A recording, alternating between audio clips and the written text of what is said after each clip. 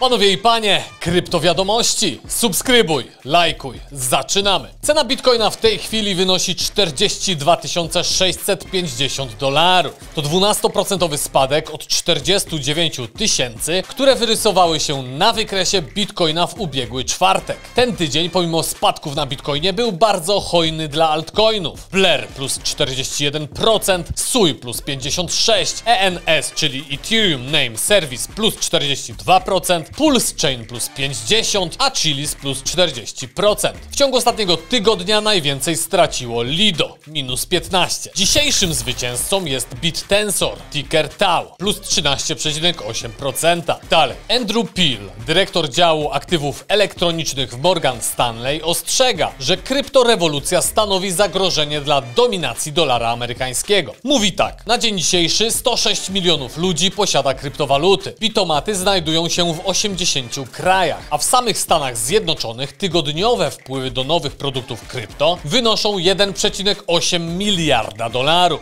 Do tego wprowadzanie CBDC. Te mogą zmniejszyć zależność od tradycyjnych pośredników, czytaj banków, i odejście od systemu SWIFT. Mój komentarz jest następujący. Zagrożeniem dla dolara amerykańskiego jest sojusz BRICS i powstanie równoległego, konkurencyjnego systemu finansowego opartego o chiński SWIFT, czyli CIPS. Rozliczanie się BRICS w lokalnych walutach, głównie w juanie oraz upadek petrodolara. Bo tak, Araby sprzedają ropę już nie tylko za dolara. Kryptowaluty jednak umacniają dominację dolara. 80% aktywności na blockchainie to transakcje w stablecoinach opartych o dolara. Dlatego dolary muszą zostać wyemitowane i zalewają świat w sposób bardzo dynamiczny. A jeżeli doszłoby do powstania rynku kryptodolara, o czym już się otwarcie mówi, czyli sytuacji, w której banki na całym świecie mogłyby emitować stablecoiny oparte na dolarze, czyli drukowałyby dolara na całym świecie, spowoduje to umocnienie dolara jako waluty światowej, wzrost wartości dolara w stosunku do innych walut oraz szanse eksportu inflacji dla Stanów Zjednoczonych. Stany to akurat klaszczą uszami na myśl o stablecoinach. A że bankowi to nie pasuje, no to się nie dziwię. Na naszych oczach w końcu rośnie alternatywa dla tradycyjnego systemu finansowego. Dalej,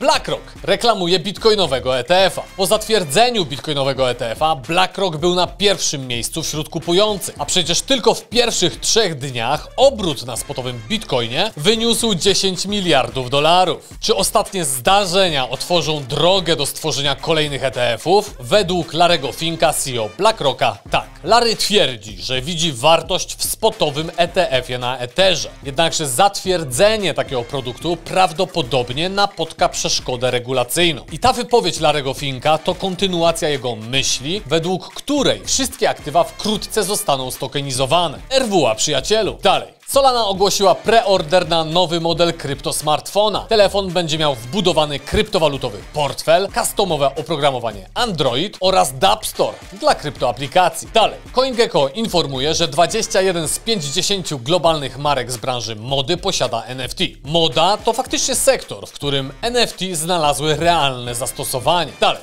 Kolejne dni spotkań World Economic Forum w Davos za nami. Nie mogło zabraknąć rozmów o kryptowalutach. Branżę reprezentowali przedstawiciele Coinbase, Grayscale, Ripple czy Circle. Wygląda na to, że kryptowaluty umacniają swoją pozycję i zostają z nami na dobre. Tak o. Panowie, jak tam Discord? Podoba się? Pisać w komentarzach poniżej. Subskrybuj, lajkuj. Nara.